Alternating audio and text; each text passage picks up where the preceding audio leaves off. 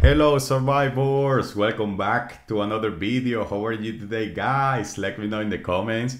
Today we have finally the gorilla here guys, the beh- beh- behemoth, behemoth which is like monster uh, in literally translation, but we finally have it now and I did some tests for the, the, the beast and it is definitely overpowered guys you know? The you can test this in tiles for example sending troops from other player to the tiles and you attack him and then you send even formations but an easier way to do that if you don't have like another player or farm account to test it then it's just attack infected zombies you know? So what i did was a couple of attacks here i sent one mars with the aircraft one without the aircraft one with the aircraft and the gorilla and I did that with the gorilla was level four or level zero. You know when I haven't I hadn't even upgraded yet, and then I upgrading him like one more level, and then I attack again. I did the test, and uh, the gorilla is definitely overpowering, guys. You know, so the first attack I did was with the aircraft.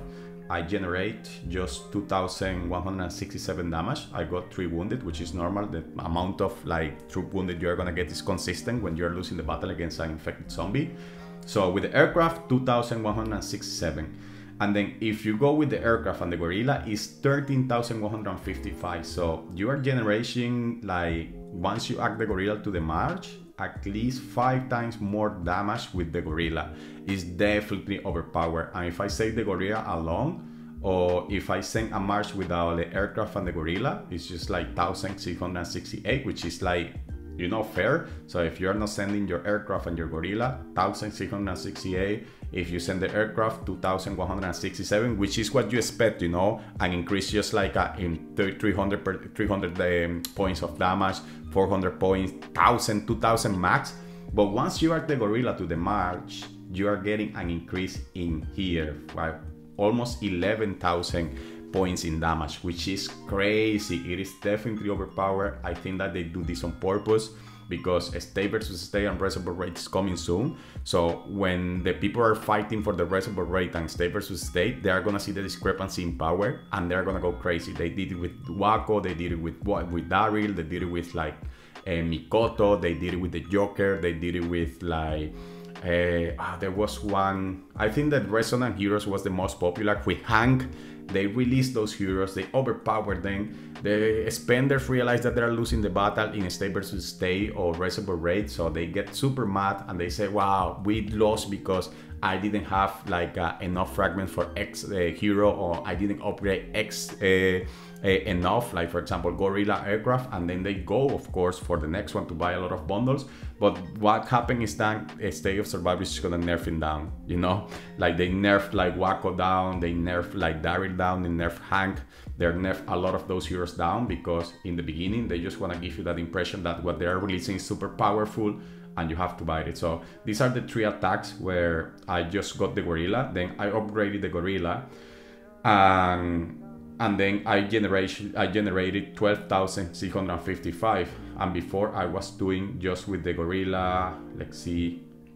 Now this one aircraft this one aircraft and gorilla this one uh, just uh, a march alone this one was the gorilla alone 12,655 uh, and then this one was the gorilla alone after upgrading the gorilla one more level you know? So you know that you are getting these free fragments for logging in and releasing the the, the beast. So this is a, a reasonable increment. You get 12,655 and when the when you just upgrade one more level 12,663 so it's just like a very few points in damage which is what you expect. You don't expect to go for like for example like 2000 to 13000 that that's just crazy. And you see that you can test this here because it's consistent. So 12655 and then I just tested the Gorilla and the aircraft again. Once I upgraded the Gorilla 13,163 and then this was my March before 13,155 so it's an increasing 8 point damage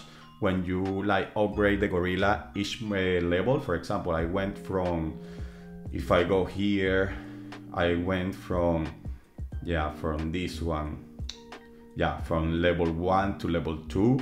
Now, if you increase it to level 3, it's another 8% damage, or maybe it might be just exponentially, I don't know. But that's the increase that you expect in most of the, the you know, the, the stats overall. You don't expect an increase increase in, in damage generating, but uh, it's definitely overpowering because I remember testing these heroes before, like Wacko, Daryl, and the difference in damage in the worst case scenario was like 2000 3000 in damage with the gorilla it's just crazy from 2000 to 13000 so they are definitely overpowering these beasts of course if you want to have an advantage you should get it but i'm pretty sure that they're gonna nerf it down you know as they did with other heroes i did this with the most of the stuff that they're releasing new so yeah as i told you before uh, if you are an spender and you want to be on the top of the game, it doesn't matter if they're adding just like 5% increase in damage, 10 or 20 or 21 or 51.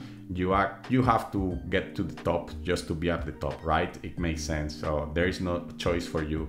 But if you are like this, like let's say low spender, and you are gonna go crazy on the gorilla, uh, I might just hold him down a little bit because you don't know what's gonna happen. Now it seems like a very very good idea based on the difference on damage you see from 2000 to 13,000 and then of course it's gonna make a big difference but I don't think it is gonna remain like that. So yeah, you also have to see what you're gonna get as a free to play player. Yeah, you can go here to the bundles and buy like let's say these uh, 13 fragments, this uh, bio battery and serum that you have to, to use to operate the gorilla and the, the stats.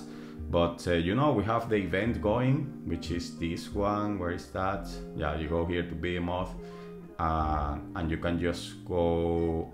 Where is this? This one.